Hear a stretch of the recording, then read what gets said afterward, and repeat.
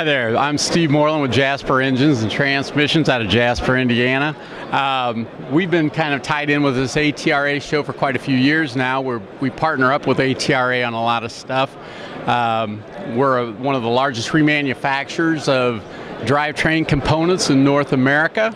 Uh, everything we do build is exclusively in the United States, and um, we uh, we try to, to be updated on all the current things that they're that they bring to the marketplace at these uh, shows, and so that's why we feel it's a vital part to be a part of that. So um, thanks for the opportunity to, to, to, be a part of this, and uh, thanks for everything.